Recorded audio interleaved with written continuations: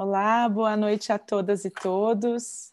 É um prazer estar aqui com vocês novamente em mais uma mesa do nosso quarto Fórum Nacional de Clínicas Jurídicas. É, nessa oportunidade, a gente vai receber a professora Cecília dos Santos para conversar um pouquinho com a gente sobre o futuro do ensino dos direitos humanos e o futuro do ensino clínico, né? Como é que a gente pode pensar conexões em relação a isso? E, enfim, um áudio vazado aqui, né, da nossa, da nossa live. É, bom, quero então convidar a professora Cecília a abrir o vídeo estar tá aqui com a gente para cumprimentar a todas e todos, e quero apresentá-la. É, agradecer os, os, os cumprimentos aqui que já estão aparecendo do pessoal que está acompanhando o nosso evento, que recomeça amanhã, logo pela manhã. A professora Cecília dos Santos, ela é doutora em Sociologia pela Universidade da Califórnia, ela é mestre em Direito pela Universidade de São Paulo, ela é pesquisadora permanente do Centro de Estudos Sociais da Universidade de Coimbra e professora titular de Sociologia da Universidade de São Francisco e atualmente ela é co-coordenadora do programa Human Rights in Contemporary Society de Coimbra, que é um programa em inglês e, enfim, é um prazer tê-la aqui, professora. Muito obrigada por ter aceitado o nosso convite. É uma honra para a gente tê-la aqui hoje. E uma das coisas que a gente tem refletido e que tem sido pautado em algumas das nossas mesas é como o movimento de clínicas atualmente aqui no Brasil ele é composto enormemente por mulheres. Então nós temos muitas alunas, muitas docentes que compõem é, as clínicas de direitos humanos e, e, nós acreditamos que esse tema que a senhora vai trazer hoje um pouquinho, pensar um pouco isso, suas pesquisas que permeiam a temática de gênero, são super importantes para a gente pensar e, e, poder produzir reflexões sobre o que tem sido o movimento clínico no Brasil e como é que a gente pode se apropriar e pensar os direitos humanos desde novas perspectivas, né? que não só reproduzam aquilo que já vem acontecendo. Então, super te agradeço a participação, agradeço ao Flávio que está aqui fazendo a nossa interpretação em Libras e a todas e todos que estão aqui com a gente e quero passar a palavra para a senhora conversar com a gente essa noite. Obrigada. Bem, boa noite, é, boa tarde aqui em São Francisco, boa noite aí né, no Brasil. E, em primeiro lugar, eu queria me descrever. Meu nome é Cecília McDowell Santos e eu tenho um cabelo cabelo grande no momento, está crescendo, castanho, escuro, pele clara, branca. É, estou usando óculos com uma camisa vermelha e um colar com uh, do Peru, é, uma Pachamama. É, e é um prazer estar aqui. Em primeiro lugar, eu quero dar os parabéns a todas as pessoas e organizações que estão uh, organizando este evento. Eu não sabia que existia um Fórum Nacional de Clínicas Jurídicas. Fiquei bastante impressionada com já estão no quarto encontro, não é? E isso mostra o engajamento de estudantes de direito na prática e no ensino jurídico. É, segundo, eu queria agradecer a Janaína Gomes pelo convite para participar como palestrante neste fórum e nesta sessão. A minha apresentação terá como enfoque os direitos humanos e as clínicas jurídicas, enquanto uma prática de ensino em direito e de extensão universitária, realizada através do que eu vou chamar de uma determinada prática de advocacia, que é também uma mobilização do direito. O título da minha apresentação é Direitos Humanos e Clínicas Jurídicas no Brasil, por uma educação e mobilização jurídicas emancipatórias. Baseio-me em alguns estudos e reflexões que tenho realizado no Brasil sobre a mobilização dos direitos humanos, bem como políticas e práticas de enfrentamento à violência contra mulheres. O meu objetivo, e, é, é a, a maneira como organizei essa apresentação, em primeiro lugar, como eu já mencionei, as clínicas jurídicas, eu situo as clínicas como uma prática de educação jurídica e, simultaneamente, uma mobilização do direito.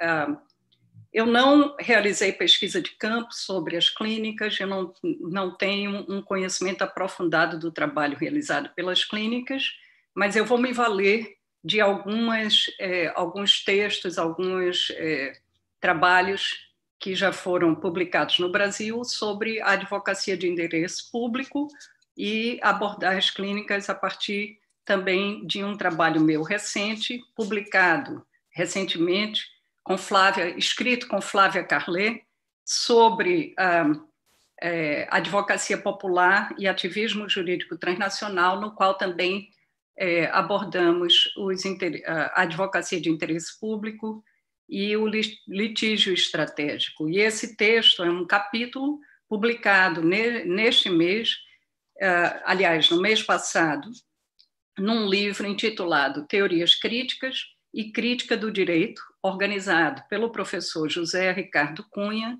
da UERJ. O livro foi publicado pela Lumen Juris agora, não é? no mês passado. O nosso capítulo é intitulado, como eu já disse, Advocacia Popular e Ativismo Jurídico Transnacional, contornos conceituais à luz das epistemologias do Sul, a minha abordagem das clínicas e dos direitos humanos será informada aqui nessa apresentação, como também no nosso texto, por epistemologias do Sul. É, é um termo. É, é, as epistemologias do Sul incluem é, é, lutas sociais feministas, LGBTI, antirracistas, especialmente do movimento negro e das mulheres negras, e as lutas indígenas e quilombolas no Brasil. É, o trabalho de Boaventura de Souza Santos e de Maria Paula Menezes, que são do Centro de Estudos Sociais de, da Universidade de Coimbra, é um trabalho que também nos informa na nossa análise da mobilização do direito. E, como eu já expliquei, as práticas das clínicas me parecem se enquadrar numa mobilização do direito. Eu começo por apresentar diferentes perspectivas e práticas de direitos humanos, antes de falar da mobilização é, dos direitos humanos. E depois vou brevemente abordar os contornos conceituais das diferentes práticas, principalmente as clínicas como um exemplo de advocacia de interesse público, advocacia popular, que eu considero ser exemplar e talvez também já seja incorporada nas clínicas, mas que aqui eu vou tentar fazer uma aproximação. É, e, por último, eu vou falar brevemente das epistemologias do SU e como é que ela pode ser aplicada às clínicas, com vistas a uma educação e uma prática jurídica transformadora. Então, começando pelos direitos humanos, eu identifico três diferentes abordagens ou perspectivas, tanto teóricas como práticas, dos direitos humanos no Brasil e acredito que em outros países da América Latina também. Em primeiro lugar, uma perspectiva com um discurso e uma mobilização liberal e individualista, que é também etnocêntrica dos direitos humanos, e essa é uma perspectiva hegemônica. Ela é, aborda a inclusão de sujeitos de direito, é, as várias normas de direitos humanos tratam dos direitos de, de vários sujeitos que, que não é, têm seus direitos reconhecidos ou aplicados.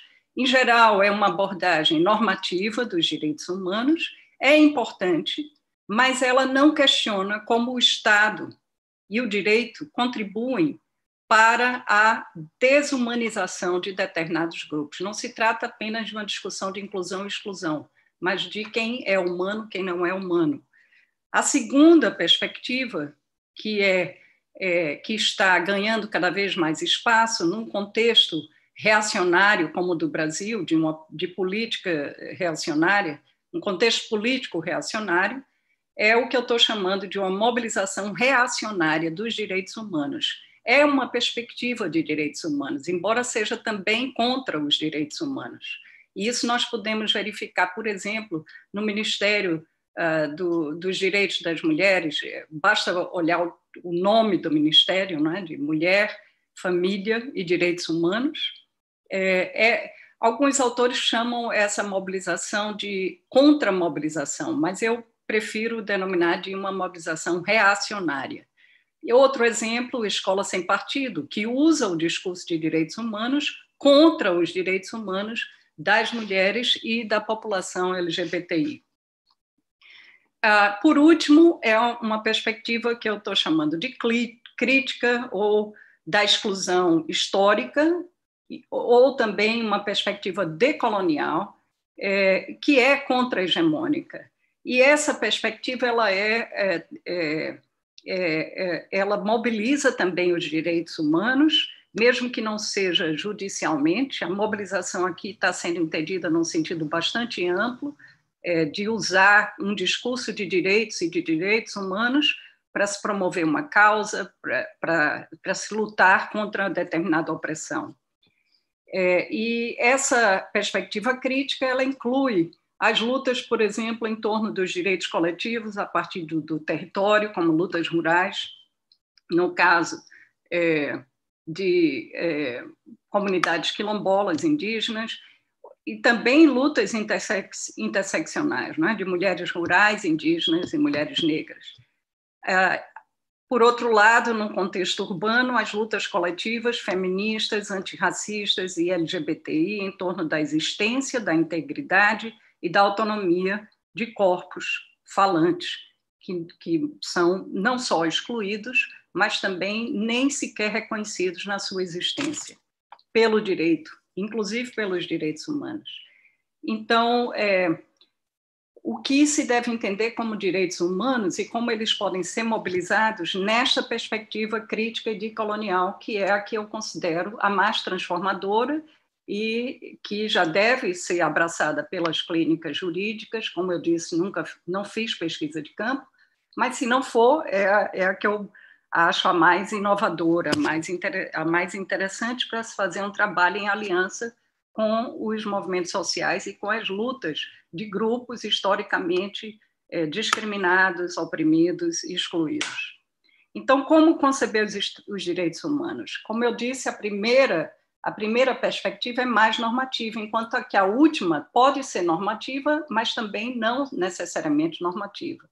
Então, os direitos humanos estão inscritos em normas, não é? em leis, e em, há princípios de direitos humanos. Tudo isso conta e é importante e posto pelo Estado ou por organizações interestatais, supraestatais. Mas também são ideias, desejos, práticas discursivas que surgem das lutas. Os direitos humanos e o próprio direito estatal são um campo de lutas discursivas.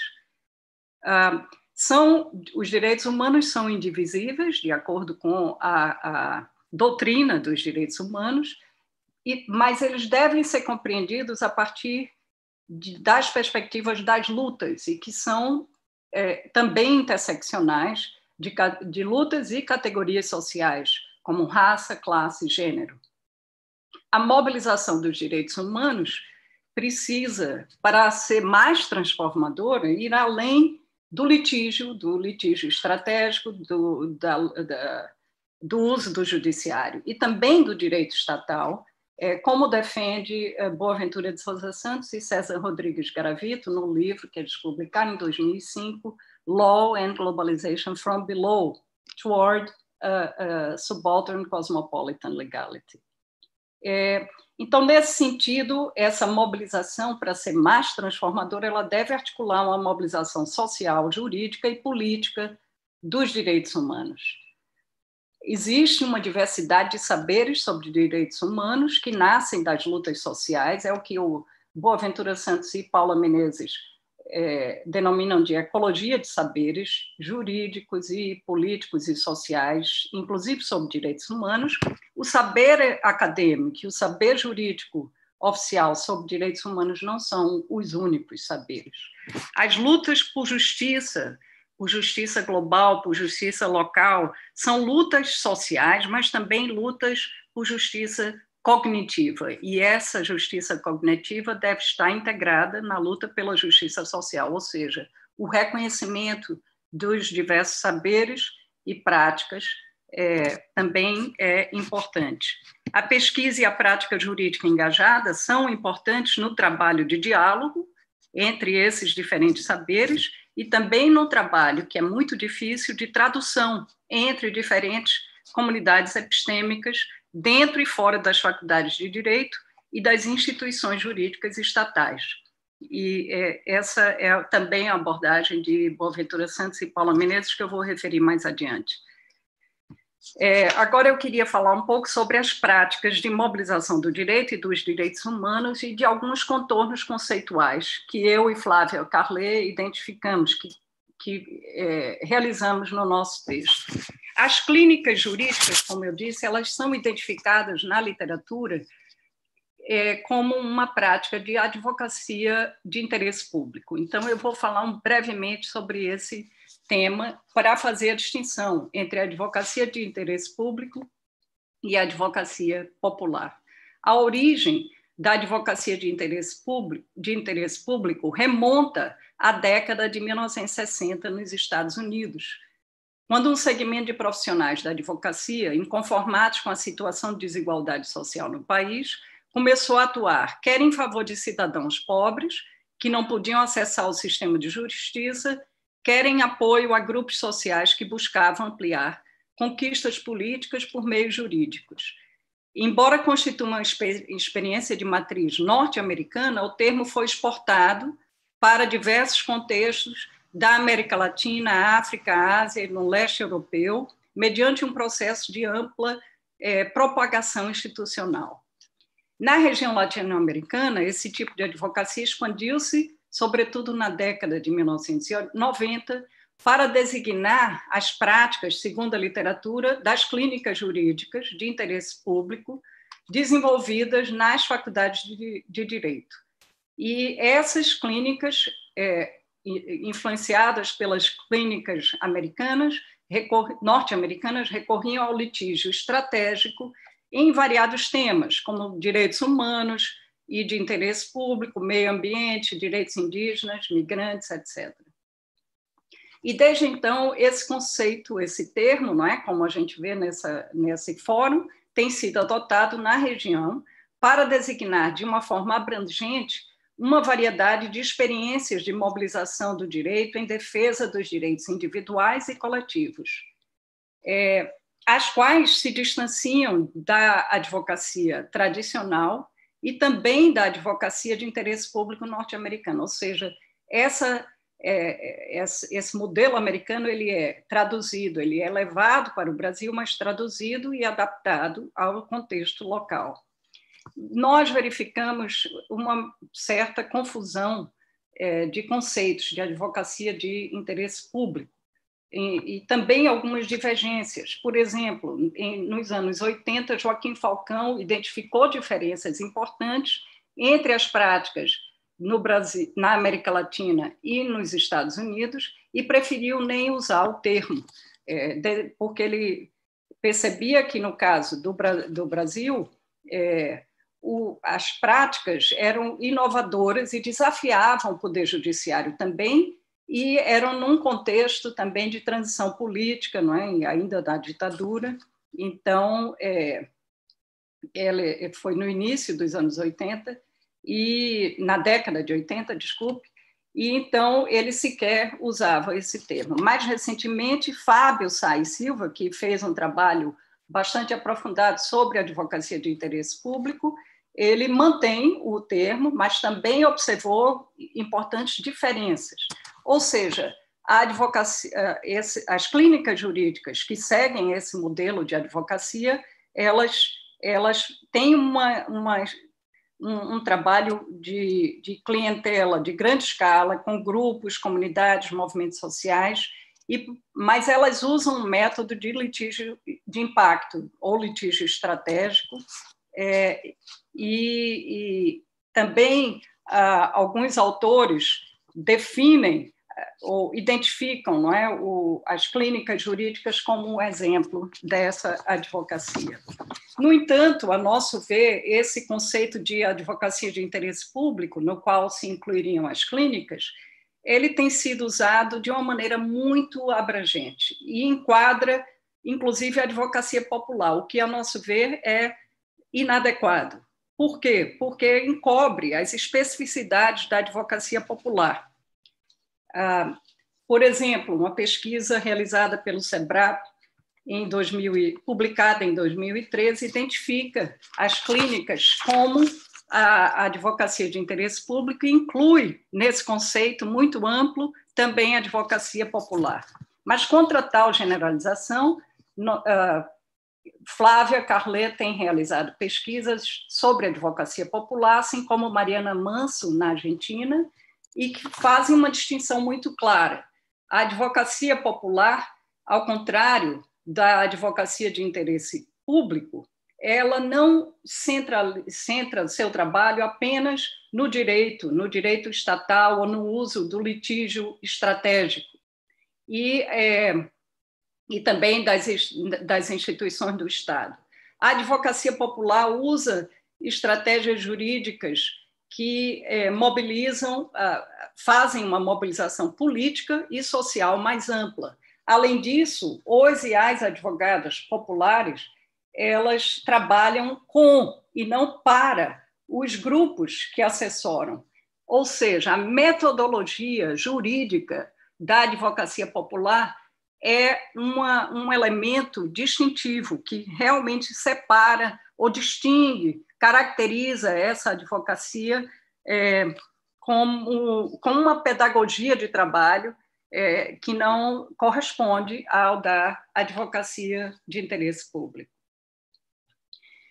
É, como eu disse, as clínicas jurídicas, a questão é saber qual é o tipo de modelo mais interessante para as clínicas adotarem. As clínicas não têm que imitar o modelo americano, nem imitam, na minha, pelo, pelo que eu tenho lido e observado, é, se a, elas criam suas próprias é, modalidades de advocacia e usando o ensino jurídico e é, não fazem uma replicação, como usando aqui um termo de Sally Montgomery, que, que aborda a vernacularização dos direitos humanos. Elas seriam mais uma hibridização, não é? um modelo híbrido. A questão é, estão mais próximas ou mais distantes da advocacia de interesse público e, do que, é, e da advocacia popular? Ao meu ver, se elas se aproximarem mais da advocacia popular, elas têm um potencial transformador maior. E agora eu vou explicar por quê. A advocacia popular, por conta dessa, dessa pedagogia de trabalho e porque também está mais próxima do, do, das epistemologias do Sul. Então, agora eu brevemente vou explicar as epistemologias do Sul. Essa é uma proposta teórica formulada por Boaventura Santos e Maria Paula Menezes, e buscam um, um, paradigma alternativo nas experiências e práticas e saberes do Sul. Claro que é, é, uma terminologia que pode corresponder a outras epistemologias, como eu já falei, da, o feminismo negro é um, um, uma epistemologia do Sul. O Sul aqui não deve ser entendido num sentido geográfico, em oposição ao Norte global, senão como uma metáfora para caracterizar os espaços sociais de opressão marcados por sistemas históricos de dominação, como o capitalismo, o colonialismo e o heteropatriarcado, que produzem desigualdades de classe, raça, gênero, entre outras categorias sociais. E é nesses espaços de opressão que há, que surgem, é das lutas, saberes e práticas coletivas emergentes, que é, são construídos como inexistentes pela racionalidade moderna e também do direito, que orienta o Estado e o direito moderno. Então, o papel de quem usa as epistemologias do Sul, não é, seja como pesquisadora, seja como é, advogada, é identificar esses saberes, aprender com os saberes e transformar essa racionalidade moderna do direito e do Estado é, num diálogo externo e interno, simultaneamente. É, com alguns elementos que eu vou destacar das epistemologias do Sul, para identificar essa diversidade de experiências e estabelecer um diálogo de saberes, as epistemologias do Sul recorrem ao que os Boaventura Santos chama de ecologia de saberes e a tradução intercultural. A ecologia de saberes não pretende reduzir a lógica dicotômica e hierárquica do paradigma racional é, não, não pretende reproduzir essa lógica. Na ecologia de saberes, é importante dar crédito a todos os saberes não científicos é, e também não descredibilizar o saber científico. Mas o saber científico deve ser usado de maneira contra-hegemônica, e aqui a gente pode adaptar para o direito, o saber jurídico. Então, num processo de diálogo intercultural, de interconhecimento, os saberes devem ser ter legitimidade para participar de debates epistemológicos, mas que devem, é importante que sejam é, de forma justa e dialógica. E esse é um grande desafio, porque as relações de poder existem e, em geral, estudantes de direito é, nas clínicas já estão numa posição de privilégio. A tradução intercultural também apresenta um desafio, porque não se trata apenas de uma tradução de línguas, e sim de culturas, e culturas de direitos humanos. É, finalmente, pelo tempo, agora eu já estou quase no meu tempo, eu vou então abordar como que as clínicas jurídicas podem usar essa perspectiva, se aproximar da educação é, da, a, da advocacia popular e mobilizar o direito e os direitos humanos de uma maneira transformadora, mas também transformadora da educação jurídica.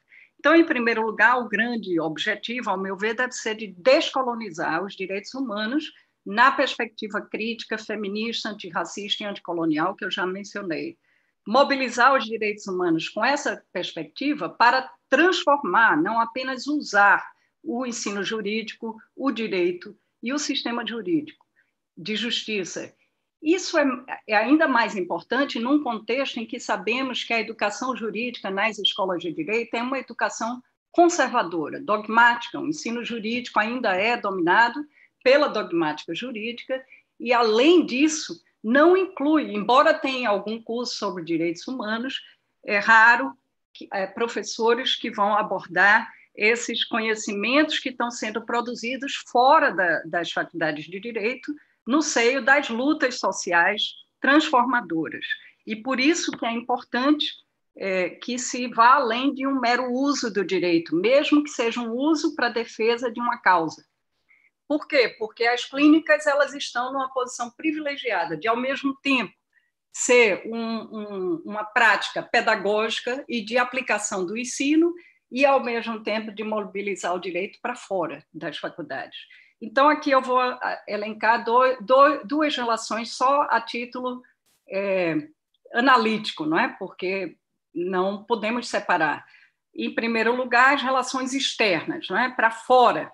Então, essa relação externa deve se voltar para grupos sociais oprimidos e suas demandas, especialmente coletivas, mesmo quando se trata de clínicas ou de núcleos, por exemplo, de defesa dos direitos da mulher, de aplicação da Lei Maria da Penha, como eu sei que há muitos no Brasil, nas faculdades de direito, porque mesmo o problema da violência doméstica, ele não é um problema meramente individual, é um problema sistêmico, estrutural, e, e que o sistema de justiça e o Estado, como recentemente nós vimos nesse julgamento é, que causa indignação, em que o promotor faz uso de um argumento, é, no caso da Mariana Ferrer, faz uso de um argumento de uma figura jurídica que não existe, é, o estupro culposo, e o, a própria cena do julgamento, nós tivemos acesso à, à filmagem, ela mostra um sistema de justiça violento, é, machista, é, opressor. Então, é, mesmo no caso de uma violência interindividual como esta, se trata de um problema sistêmico, estrutural. Então, por isso que é importante que, quando nas suas relações externas, é, é, haja uma, uma ênfase na, numa perspectiva coletiva dos direitos humanos.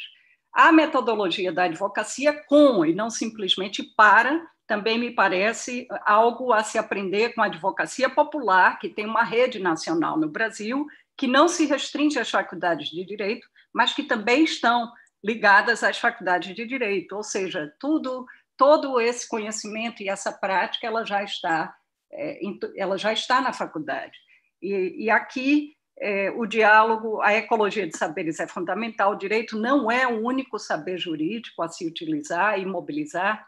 O diálogo de saberes e a tradução intercultural para aprender e dialogar com a educação popular, por exemplo, os cursos de promotoras legais populares, às vezes até sendo é, promovidos nas faculdades de direito, mas que foram têm origem fora das faculdades de direito, fora do Brasil, inclusive, mas que foram levados para o Brasil pela organização Temes, de advogadas feministas, em São Paulo, a União de Mulheres, o Guela 10, são organizações que podem também trabalhar com as clínicas e a, aprender com a advocacia popular para descentralizar o direito e o litígio, embora seja importante também o litígio, combinar a mobilização jurídica com a política e também aprender para transformar o próprio ensino de direito. É, aqui são as relações internas nas faculdades. É importante que as clínicas tenham um papel na educação jurídica, nas faculdades, para criticar e reformar o currículo a partir dessa aprendizagem com os atores externos que estão nas lutas sociais, que são protagonistas, que têm um conhecimento e um saber transformador dos direitos humanos e é, saberes contra-hegemônicos. Então, essas alianças, essas aprendizagens também podem ajudar a transformar as faculdades de direito. E aqui eu termino as minhas observações e é, para ouvir comentários e também se houver alguma pergunta e agradecendo mais uma vez pela oportunidade é, para pensar sobre as clínicas é, que eu não, não tinha feito isso antes a partir do meu próprio trabalho. Muito obrigada. Professora, obrigada pelas suas considerações. É, acho que elas foram riquíssimas para a gente. É, se a senhora quiser fechar a janela, eu acho que o sol está bem no seu rosto, né? Estou com sol, peraí. Eu ver consigo mudar aqui. Fique à vontade. Isso. São os dramas da, da vida em quarentena. A gente está começando a naturalizar isso, né? Passa cachorro, criança, o, a, melhorou, a imagem. Melhorou, agora melhorou, mas está vendo que a o sol veio em cima de mim. E incrível essa nossa diferença de horário, né? Aqui dá para ver que a gente está na noite adentro daqui a pouquinho. É, bom, mas fora isso, professor, eu quero super agradecer novamente a sua disponibilidade. Eu tive a honra de ser sua aluna logo no comecinho do mestrado e hoje estou voltando a te ouvir quando é a primeira vez que eu leciono Direitos Humanos na PUC de Campinas. Então, eu acho que tem uma mudança né, de, de cabeça e nesse meio tempo, nesses seis anos eu estive na Clínica de Direitos Humanos Luiz Gama, com esses alunos incríveis que, inclusive, estão nos apoiando aqui hoje, o Alan, a Flávia, a Verônica, que eu quero aproveitar para agradecer. E nessa trajetória conheci diversas clínicas, dentre elas a clínica, é, a, o Núcleo de Prática Jurídica da Fundação Getúlio Vargas, da qual a, a Cássia Nakano coordena, que coordena esse evento conosco, que organiza esse evento conosco e que coordena esse núcleo de prática. Então, são muitas as experiências de clínica que eu consegui pensar e lembrar é, à medida com que a senhora ia apresentando essas, essas ideias. E queria contar só um pouquinho para você, para a gente poder fazer aquele bate-bola, né, que a gente acabou conversando. É, a gente está criando no final desse evento uma rede de clínicas com uma ideia de construir uma plataforma em que elas sejam acessíveis, né? Inclusive num evento como esse, de entrar lá e ver, nós, mas quem são as clínicas no Brasil, né? Com que, que elas atuam? E uma das coisas que eu acho super interessante é, de mencionar é que a gente tem a rede amazônica de clínicas jurídicas, que é uma rede forte, já antiga aqui no país, e que naturalmente acaba tratando diversos temas que não são os temas centrais das regiões sul e sudeste, tratam de direitos indígenas, de direitos de propriedade de territórios, tem suas peculiaridades temáticas. A gente tem aqui na nossa lista que em breve vai ser, né, o site que em breve, amanhã à noite, vai ser lançado oficialmente, a gente tem clínicas de direitos humanos, formalmente, direitos humanos e direito ambiental, direitos socioambientais. A Clínica Luiz Gama trabalha particularmente com população em situação de rua, em diversas perspectivas. Então, a gente está agora com Covid, população em situação de rua. Trabalhamos muito tempo, que é agora o tema do meu doutorado, que é a separação de mães e bebês. É, em razão da situação de rua, então, uma atuação do judiciário que acaba por separar, violar direitos das mulheres, que a gente também é, tem a sorte de ter a Clínica de Direitos Humanos da UFMG também nessa área, também pautando esse tema, e agora a Clínica da UESB na Bahia também trabalhando maternidade. Maternidade tem sido um tema que tem tem emergido, assim, tem uma emergência no tema de gênero, de maternidade, e, e, pensar sobre eles a partir do direito. Então, para dar alguns exemplos, né? Mas a gente tem aqui resolução consensual de conflitos, novas tecnologias, um, um laboratório de assessoria jurídica ao mercado de capitais, é, cidadania, educação e direitos humanos, especialmente, e aí uma série de atuações com direitos dos migrantes, direitos das pessoas é, encarceradas. Então, a gente tem uma série de clínicas que trabalham com temas bastante diferentes e que eu acho que todas elas se beneficiam desse debate que a senhora está trazendo para a gente, né, sobre descolonizar os direitos humanos, repensar a educação jurídica dogmática. E eu acho que tem uma coisa que eu gostaria que a senhora complementasse um pouquinho, conversasse um pouquinho mais com a gente, que causa muito, muito estranhamento nos alunos é, que estão nas clínicas, ou nos alunos que estão tendo o primeiro contato com direitos humanos, que é essa ideia de que o direito não é o único saber jurídico. Eu acho que a gente nas faculdades de direito tem muita dificuldade de pensar isso. E, e, assim, a minha hipótese, assim, né, eu arrisco e queria te ouvir um pouquinho sobre isso. E é uma coisa que a gente conversa muito nas formações da clínica, que a gente não é formado para ouvir o outro, a gente é formado para falar pelo outro, a gente é formado para dizer o que, que é a realidade social a partir das categorias jurídicas que a gente aprende. E quando a gente vai para a realidade social, por exemplo, da pessoa em situação de rua, um boletim de ocorrência não serve para nada para aquela pessoa. Uma delegacia não a protege, é, a força policial não, não serve para protegê-la. No caso dos, das questões de gênero, também, como a gente está vendo, né? o Ministério Público, a atuação da justiça não vê a mulher como é, sujeito de direito, de proteção de, especial de algum tipo de direito.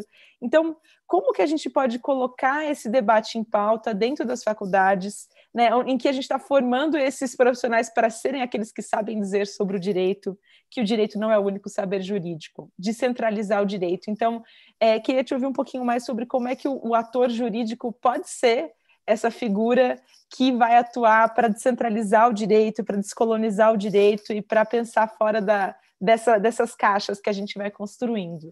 Então, essa é a primeira pergunta. Enquanto isso, eu estou juntando aqui umas perguntas que estão aparecendo aqui no nosso, no nosso chat. A senhora pode ficar à vontade.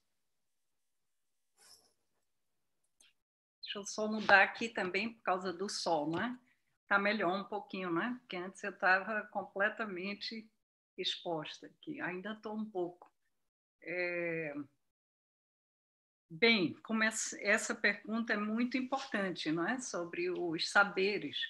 É, é, isso tem a ver com uma perspectiva do direito que é centrada só no Estado, né? O Estado e o direito do Estado. Mas se a gente pensar no direito a partir de um pluralismo jurídico, o direito pode estar sendo o direito achado na rua no Brasil, por exemplo, é exatamente essa perspectiva do, do pluralismo jurídico, não é? que é o, na UNB, o professor José Geraldo já tem muitos anos, já vem desde Roberto Lira Filho, é, e também com, com Boaventura de Souza Santos, e, e, eles já falam, já falavam desse o pluralismo jurídico é uma é, na antropologia do direito é, é o ponto de partida, não é o direito do Estado.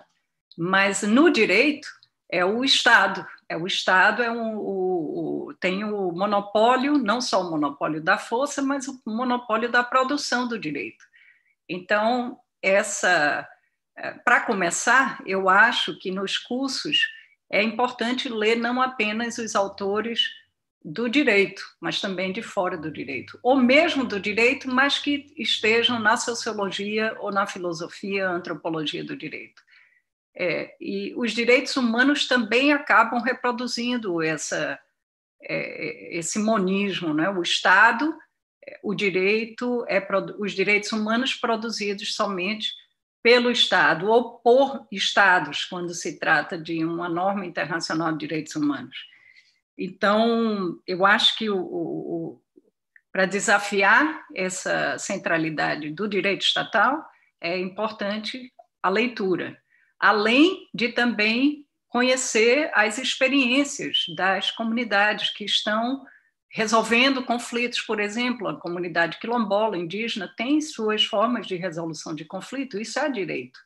É, então, é, o direito está aí na rua, não é como você mesma mencionou, essa experiência com a população de rua, que tem suas maneiras de lidar com o conflito, com as suas necessidades, que o Estado não vai, não vai dar conta disso, pelo contrário, é, não compreende.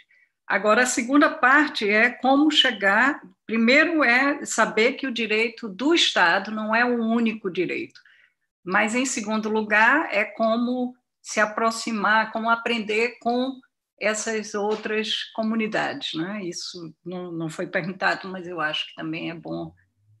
É, não sei se tem alguma pergunta sobre isso, aí depois eu posso falar sobre isso, mas eu acho que, para começar, é lendo algumas leituras que já existem, não é? no Brasil, inclusive, não precisa sair do Brasil para fazer essas leituras, sobre o pluralismo jurídico. O direito achado na rua é uma escola no Brasil, e acho que a advocacia popular está muito ligada ao direito achado na rua também. Já a advocacia de interesse público, o litígio estratégico, eles não fazem essa leitura. Então, é, é, eu os livros publicados pela UNB, pelo Direito Achado na Rua, são fontes importantíssimas também. Professora, perfeito. Acho que já dá, já vai dando caminhos para a gente, né? E uma das coisas que as, as formações é, das clínicas aqui no Brasil têm pensado um bocado, dessa literatura que foi se construindo aqui, né, também, foi questionar como é que esses modelos de formação são super individualistas, né, e que não formam os alunos justamente é, para o interesse público, para a advocacia popular. Então, os alunos muitas vezes vão conhecer. É, eu mesma fui atuar com com direitos das pessoas em situação de rua depois de já formada e de ter tido toda uma formação em que esses direitos não foram mencionados, né? Então, esses alunos e alunas, quando eles estão na oportunidade de estar em clínicas que vão pensar esses outros temas, eles vão adquirindo um conhecimento que também não está à disposição do aluno que está regularmente matriculado e que está cumprindo o curso dele, vai ser aprovado na OAB, né? Que aqui né, o nosso a nossa ordem, e, e não necessariamente ele vai ter esses conhecimentos acumulados que esses colegas vão ter sobre violência obstétrica, sobre, né, por exemplo, né, para dar um exemplo desses temas né, recorrentes, é, população em situação de rua, e sobre a própria advocacia popular, né, que parece que é construída, não é construída como um projeto de carreira possível para o aluno do direito, assim como a atuação em direitos humanos não necessariamente. É, uma das, das perguntas, professora, que chegou aqui, obrigada pela sua, pela sua explicação, é, é da Josinete Medeiros. Ela está perguntando aqui um pouquinho para a gente uma pergunta daquelas que desafiam mesmo a gente, que, é a, que são as políticas afirmativas. Então, como, como é que você enxerga essas políticas afirmativas? E aqui, se a partir desses elementos que a senhora apresentou, se é, deveriam ser consideradas políticas afirmativas para a seleção de estudantes nas clínicas. E eu acho que isso aí também dá conta de um debate que a gente tem tentado fazer sobre permanência estudantil.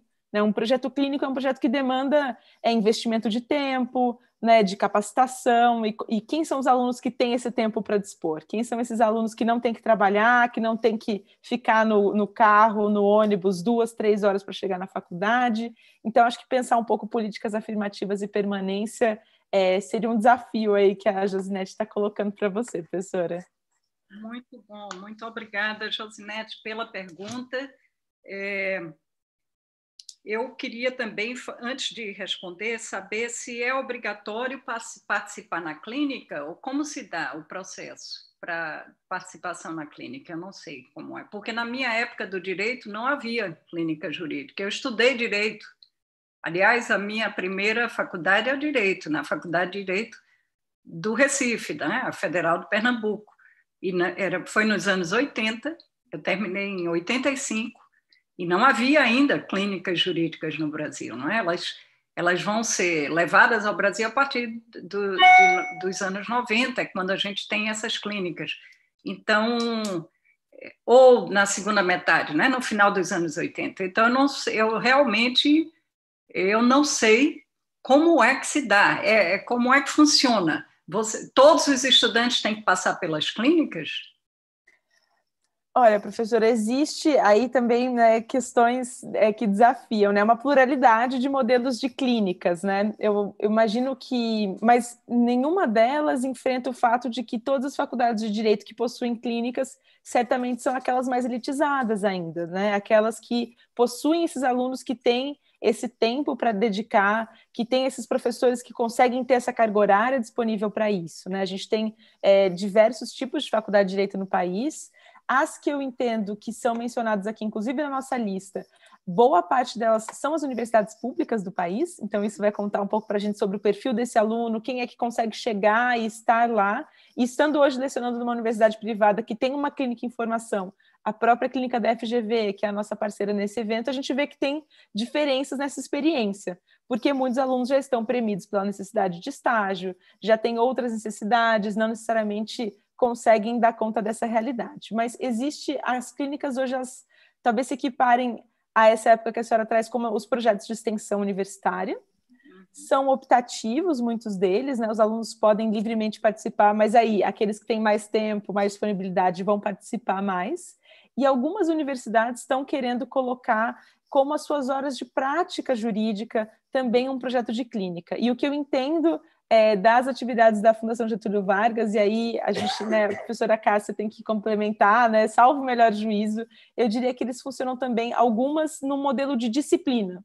Então, tem uma disciplina que você vai fazer uma intervenção clínica, seis meses. Então, não compõe aquele grupo com aquela cara mais extensionista, compõe uma disciplina. E aí também é uma que a gente até passa ao largo desse debate aqui nesse nosso evento, que se a clínica pode estar associada a uma extensão ou não, se ela é uma coisa separada disso, e como os nossos modelos né, da clínica da FGV, da clínica Luiz Gama, são modelos de extensão, inclusive a Luiz Gama foi criada por alunos e alunas e, e é subsidiada pelo Centro Acadêmico 11 de Agosto, então a gente tem uma autonomia perante a própria faculdade, a gente acaba respeitando essas pluralidades, né? Essas criações que vão sendo feitas. Então, a gente tem modelos protagonizados por alunos, a gente tem modelos criados pelos docentes, criados pelos programas. A da PUC de Campinas é criada pelo programa, no último projeto político-pedagógico do curso. Então, são vários modelos.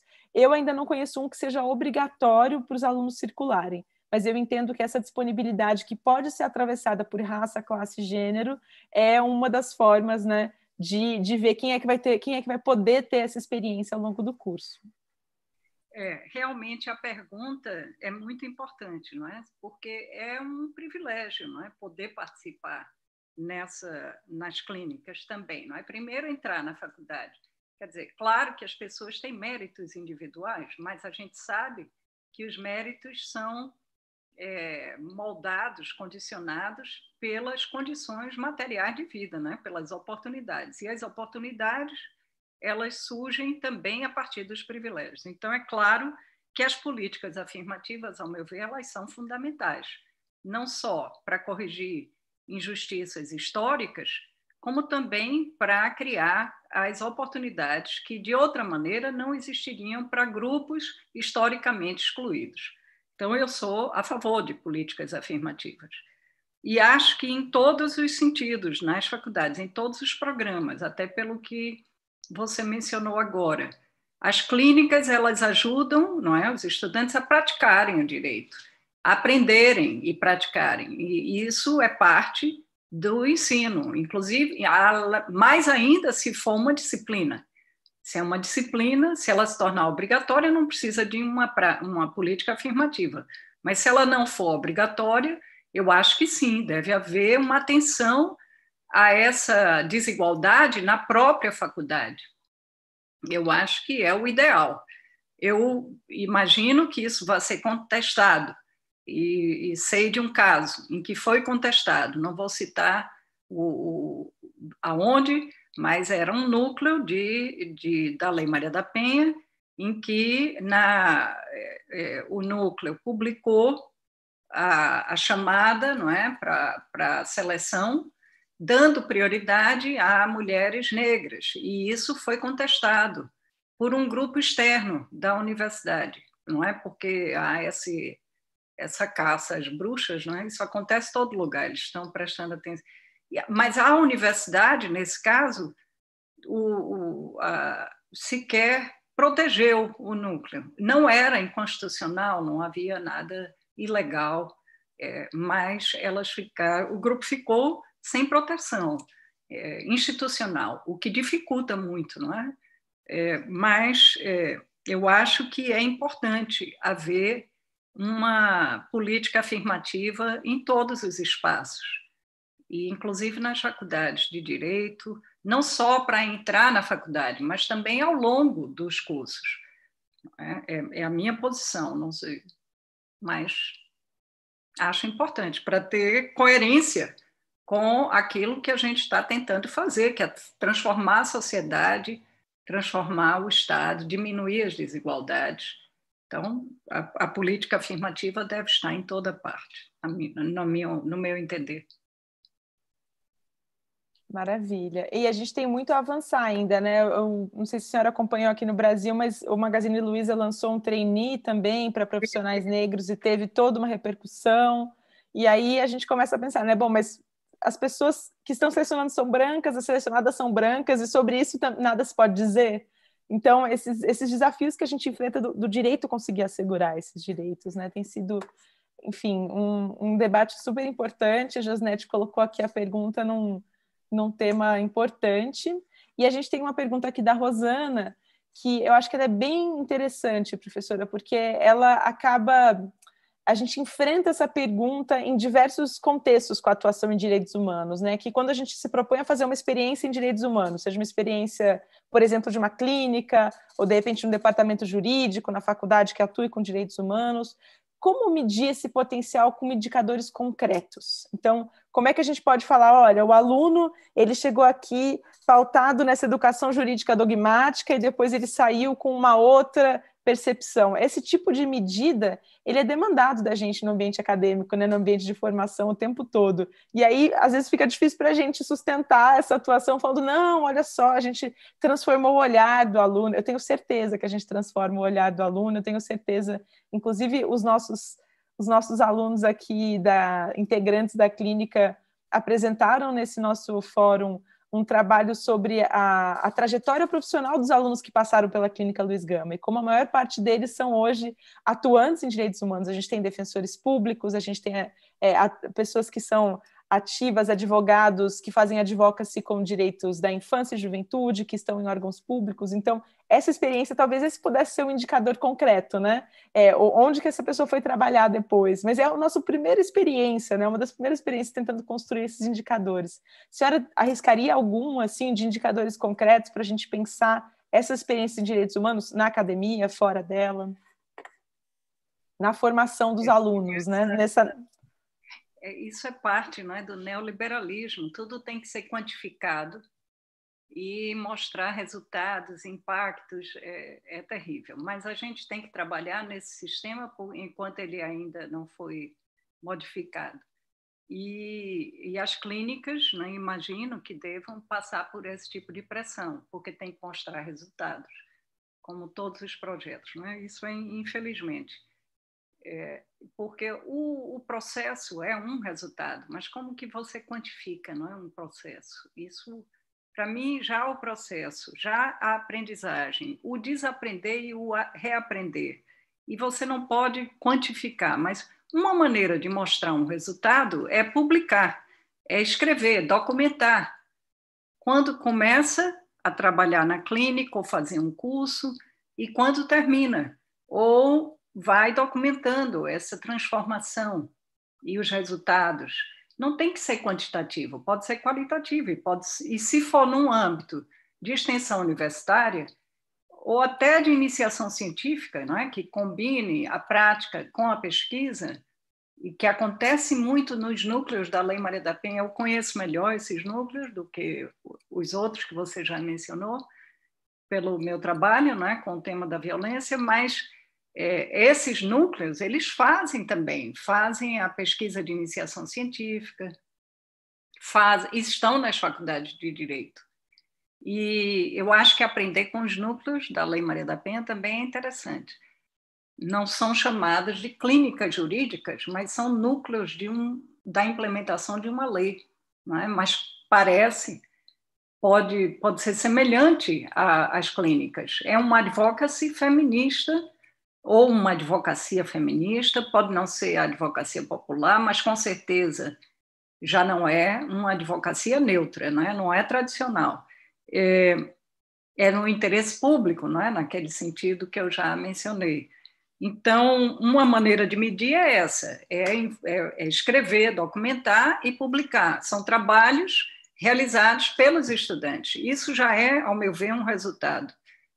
Não, se você quiser mostrar que as clínicas vão levar para uma advocacia num mercado de trabalho um, de corporações, aí é claro que isso não é possível. Não é? Se for, depende da clínica, não é, não é essa clínica de que eu estou falando. Eu estou pensando aqui em uma clínica jurídica num campo de direitos humanos e ainda assim estou falando de direitos humanos numa perspectiva crítica, decolonial, emancipatória, ou seja, não aquela neoliberal é, é, centrada só no Estado e no direito. Então, aqui já é uma outra. Também importante entender que há diferentes perspectivas de direitos humanos, não só do direito. É? E, então, nesse sentido, mostrar, provar é? um resultado que nunca vai ser alcançado, porque é, é contrário a, a, ao projeto, então, isso é, um, é impossível, é uma perda de tempo. Eu acho que é mais interessante mostrar o, é, o resultado, tanto nas publicações, como também nas ações práticas. Não é? Por exemplo, advogados populares, muitos podem ter saído dessas clínicas, podem ter, aprender com a advocacia popular e também muitos da advocacia popular, no momento, essa geração, que também participou das clínicas. Então, as clínicas têm aí um potencial transformador muito interessante, até porque é parte do ensino jurídico e é parte da prática, da mobilização do direito, de um serviço para a sociedade e, ao mesmo tempo, uma oportunidade de dialogar com, com os grupos que estão precisando de apoio jurídico. Mas aí é que está, não chegar lá como se você sabe de tudo e os outros não sabem de nada. É, essa humildade e também considerar que todo, vários tipos de conhecimento podem ajudar, inclusive na advocacia. Então, os resultados, para finalizar e resumir, eu diria que são, primeiro, documentados, né? e segundo, quando para mostrar essa a liderança na comunidade ou no movimento social, com o MST, ou com a população de rua, com os sem-teto, enfim, é, é, me parece extremamente positivo, não é? Que está formando lideranças na área do direito, é, advocacia, um tipo de advocacia que vai ser é, transformadora e, e, e, e, do ponto de vista de mercado, eles estão no mercado, estão trabalhando, né? embora não pode ser esse o critério. É, aí é que está. Quem financia as clínicas jurídicas? Né? Se elas estão exigindo esse tipo de resultado, é difícil, é muito difícil trabalhar nesse contexto, mas tem que desafiar. Ou então manobrá-lo, é? com as publicações, usando uma linguagem que pareça, para quem quer ouvir, de muita eficácia, de muita eficiência, porque a linguagem é da eficiência, não é do neoliberalismo. Mas para a clínica, que tem uma perspectiva crítica, o resultado não é de eficiência, o resultado é de transformação individual e coletiva. Professor, excelente ponto que a senhora toca, porque as universidades estão sendo completamente capturadas né, por esse modelo de produção e de produtividade e que vai né, medindo o quanto que você publica e não a qualidade, para de medir o processo e começa a, buscar esses outros indicadores. É, acho super importante esse, esse debate. Eu estou lembrando é, do trabalho de uma professora, uma amiga muito querida, Carmen Fulim. Ela é professora, atualmente ela está no Canadá, mas ela é professora na Municipal de São Bernardo do Campo, aqui em, é, em São Paulo. E ela fez uma pesquisa na faculdade que ela dava aula, passando o mesmo questionário para alunos do primeiro ao quinto ano sobre os motivos pelos quais eles estavam no curso. E essa, essa pesquisa na época me impactou muito, porque os alunos do começo do curso, eu vejo isso acontecer, eu acho que eu vejo isso, inclusive, comigo, com os meus colegas, né? Os alunos, eles entram, você pergunta para os alunos do primeiro ano, e eu tenho oportunidade de dar aula para primeiro anistas, eles falam que eles querem justiça social, eles falam de indignação, eles falam de transformação. E no quinto ano, eles falam de salário, de concurso público, né, de ter um bom emprego, de acabar a faculdade logo, pelo amor de Deus. E esse processo também está tá acontecendo nos bancos das faculdades e a gente não está conseguindo nem medir e nem competir com ele. Então, esse, esses, esses desafios, eles, eles acabam vindo até nós e nos desafiando, né? Esses processos, eles parecem que são estão vindo como uma onda e a gente tem que produzir essa, essa resistência né, no que toca à produção dos, dos direitos humanos. Professora, eu vou fazer uma, última pergunta para a senhora, que a gente já está invadindo aí o nosso, o nosso tempo, né, de, de uma hora. Mas alguém pescou aqui a, o que a senhora falou sobre a perspectiva das trans, transnacionalidades dos direitos humanos. Uhum. E pergunta se isso significa dizer que o mesmo direito pode ser considerado de maneira diferente em diferentes locais. Isso foi uma coisa que me encantou também quando tive acesso aí a, aos seus trabalhos e que é difícil, é um debate que a gente acaba tendo que passar em direitos humanos naquela formação básica, né? Universalismo dos direitos humanos, será que a gente pode falar em direitos universalizáveis ou não? Eu acho que essa é um dos, dos desafios, assim, e, e, eu acho que essa pergunta aqui ela é bem, bem interessante, ia ser legal te ouvir.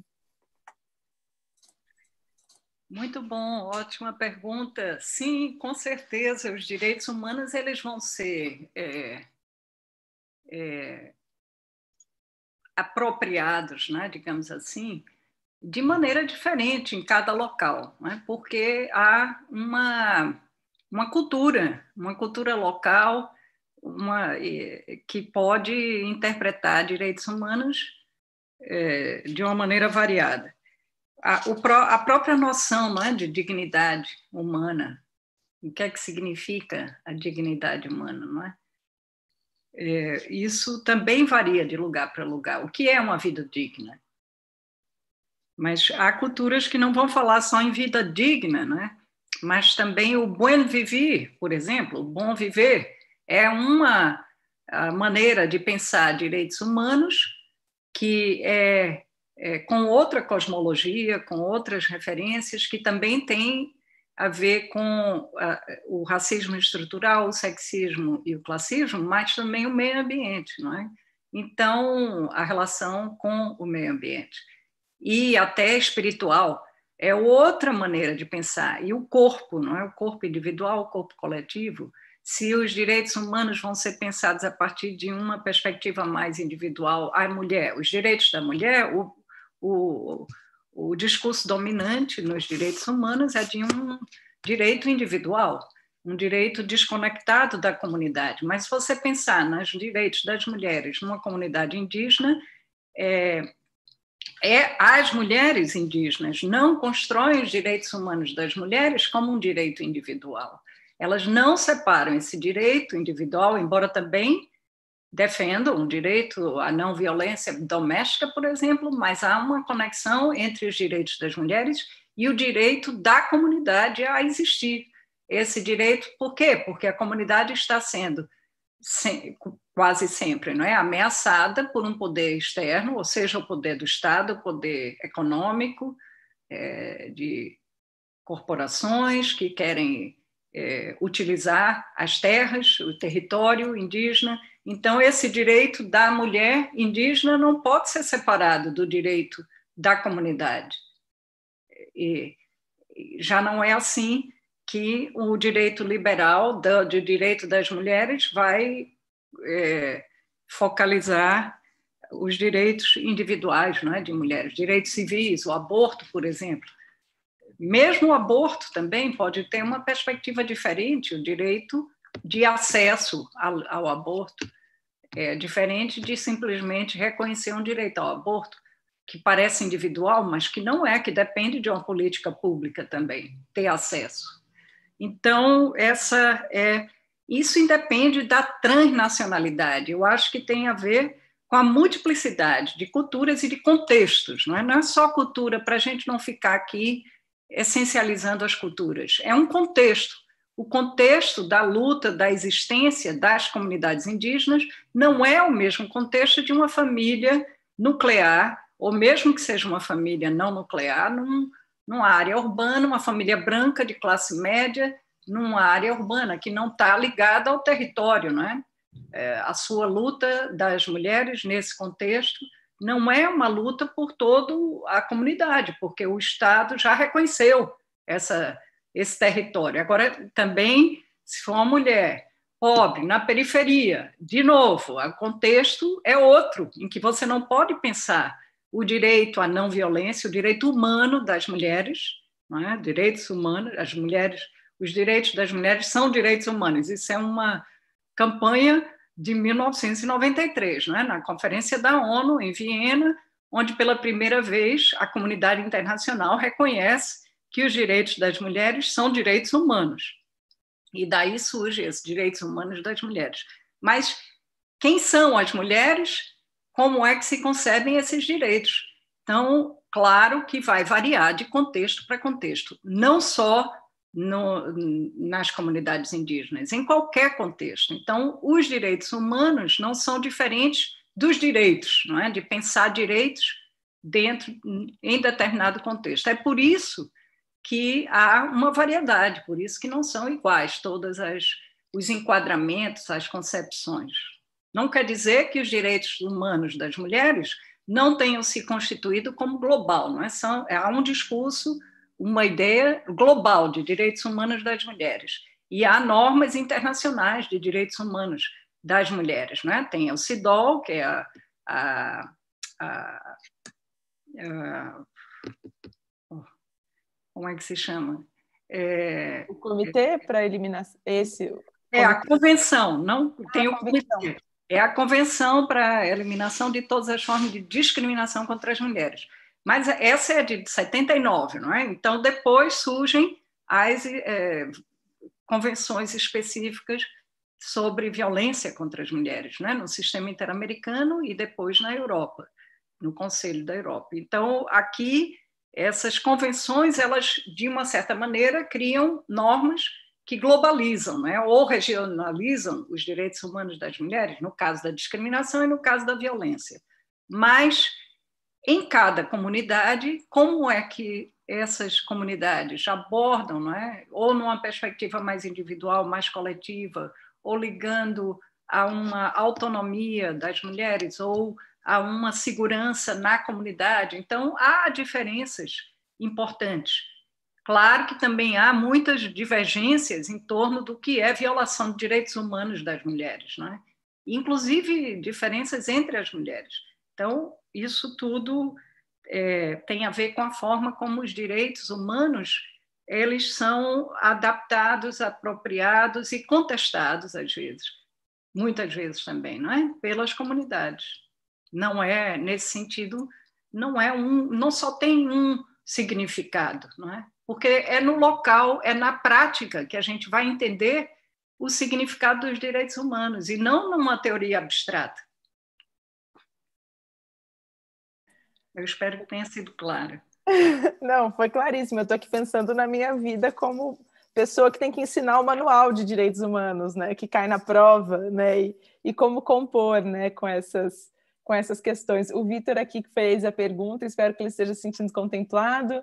É, a Bruna, que fez a pergunta sobre os indicadores concretos, ela é professora na, na Universidade Mackenzie, aqui em São Paulo. Acho que também pensando isso, né? Como estamos premidos, né? Por essas, por esses números, esses impactos. Professora, muita coisa para pensar quando a senhora fala. Eu lembrei, é, eu acho que de uma coisa que eu queria falar e já encaminhando para a gente encerrar esse nosso espaço que está incrível. Não para de chegar aqui, excelente palestra, obrigada, que ótimo. Enfim, acho que Muita gente gostou de estar aqui contigo hoje e eu especialmente agradeço novamente você ter aceitado o convite, ter estado aqui com a gente e, e me me fazendo revisitar esses contatos com os direitos humanos. Acho que teve uma, um momento com a Clínica de Direitos Humanos que a gente fazia uma ouvidoria comunitária com pessoas em situação de rua.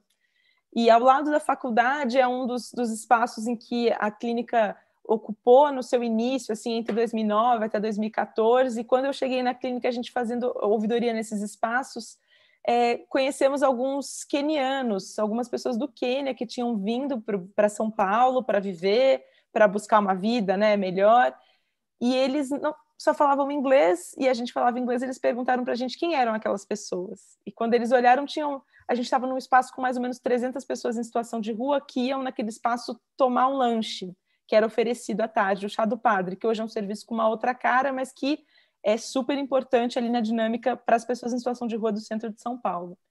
E aí a gente explicou para eles que eles eram pessoas em situação de rua. E essas pessoas incríveis do Quênia olharam para a gente e falaram: Mas como assim em situação de rua?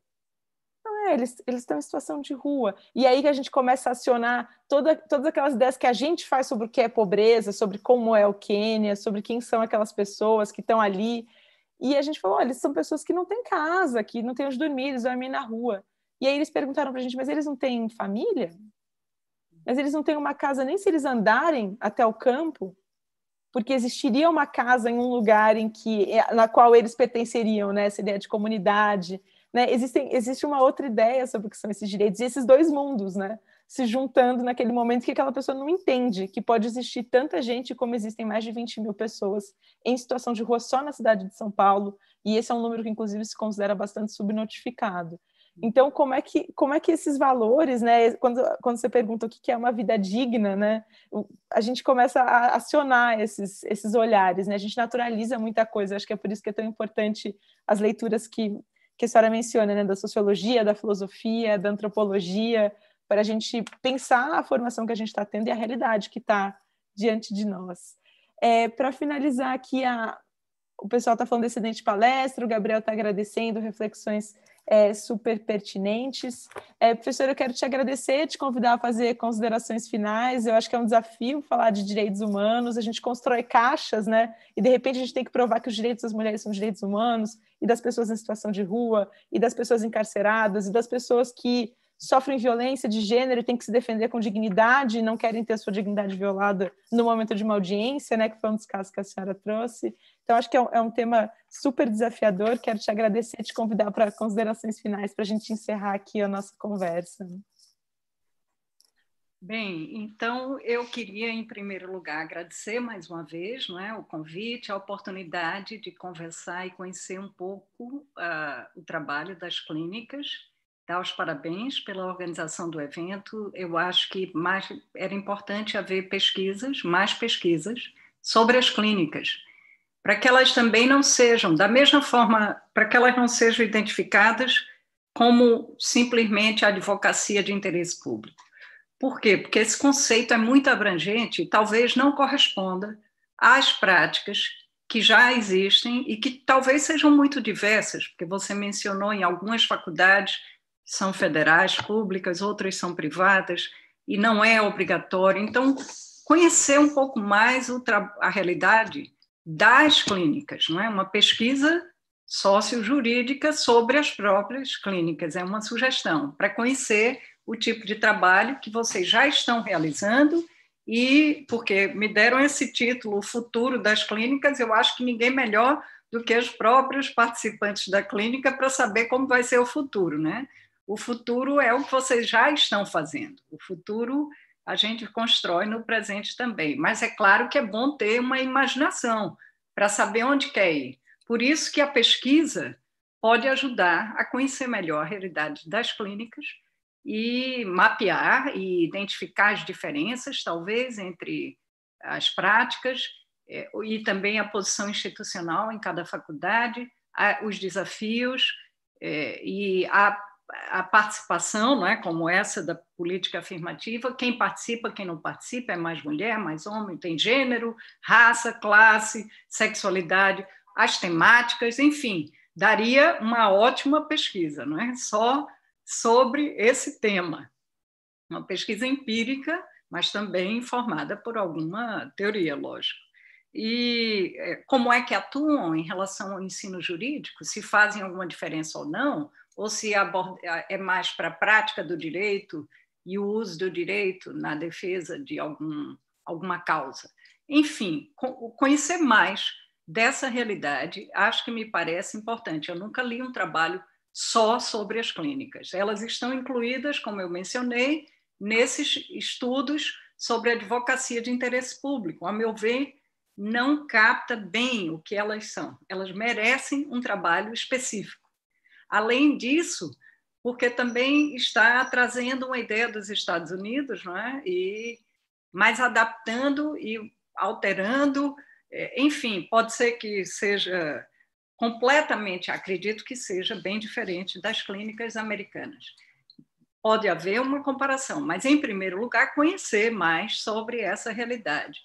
É, uma, já, vocês já estão na quarta jornada, já vão criar uma rede de clínicas, então um projeto de pesquisa nacional seria bem-vindo, não é? Ou mesmo local ou regional, para se conhecer melhor as clínicas, por temáticas, por população, não é? Por qual é o tipo de estudante que participa, é, os impactos, é, a filosofia das clínicas, tudo isso é, é, é, eu gostaria de ler, não é? É uma sugestão. E que vocês continuem a fazer esse trabalho, que me parece bastante importante, tanto do ponto de vista da formação jurídica, como da transformação, e é, que seja documentado. Não, é? não só na pesquisa, a pesquisa seria para conhecer melhor essa realidade e também saber que rumo vocês querem dar, e, por outro lado, a documentação para vocês conseguirem manobrar, sobreviver nesse contexto que está tão difícil na universidade, com pouco apoio é, da, do governo, não é? Nas, as políticas educativas estão ameaçando a existência desses projetos mais alternativos e por isso que ou desfinanciando, não é? Estamos passando por uma fase de desfinanciamento, sucateamento e também de patrulha ideológica. Então, é, são muitos desafios ao mesmo tempo, além da pandemia. É, então, por isso que as clínicas ter uma jornada como essa me parece uma, uma resistência, uma prática de resistência. Vocês estão se é, comunicando, interagindo, trocando experiências, é, e isso em si já é admirável. A existência das clínicas é uma resistência e também esse encontro me parece bastante é, bastante inspirador. Eu fiquei muito feliz com o convite de poder participar, ouvir as perguntas, agradeço por, pela participação também de quem está nos assistindo. E mais uma vez, a Janaína, muito obrigada pelo seu convite e saber que você está trabalhando não é, na GV, dando aulas e também participando desse projeto que me parece interessante das clínicas. Professora, obrigada, super te agradeço. A GV é a nossa parceira, a, a instituição que atua é a PUC, né, de Campinas, é. e, e a clínica da USP, a gente tem várias pessoas aqui representadas nas clínicas que estão assistindo a gente, professora Cristina Terezo, da, da Clínica do Pará, por exemplo, está aqui com a gente também. É, enfim, acho que foi um momento excelente para todo mundo, quero te agradecer demais. É, quero agradecer novamente a ASP, a Oak Foundation, a Andep, que tornaram esse evento possível e que ele recomeça amanhã, logo pela manhã, professora. A gente vai ter é, sessões temáticas a partir das nove da manhã, amanhã, com apresentação de trabalhos. E depois, às duas horas, a gente tem um encontro fechado só da rede amazônica de clínicas jurídicas, um grupo de clínicas dentro dessa rede que a gente está querendo formar. E às 16 horas, a gente retoma é, as nossas mesas. A gente vai ter uma mesa sobre direitos humanos, educação e resistência nos tempos atuais, quais são esses desafios. Então, uma mesa para falar sobre permanência com a Ana Venturini, para falar sobre advocacia popular e essa ideia né, de descentralizar o saber jurídico. É muito bom a, a, o convite, a senhora, e como a gente está afinada, pelo menos assim, né, eu, eu acredito, a gente convidou a Mara, que tem uma experiência com educação jurídica popular em diversos contextos, dentre eles no, no MST, a Larissa Vieira, do coletivo Margarida Alves, também com advocacia popular.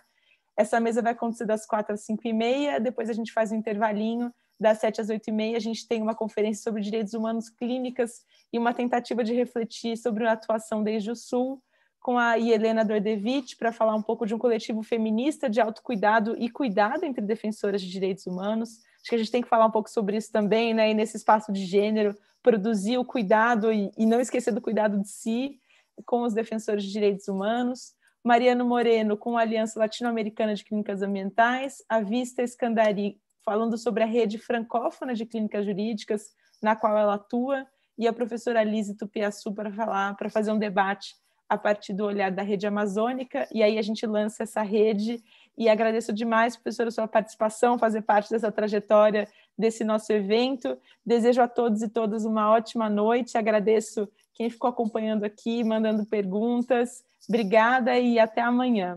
Boa noite. Boa noite.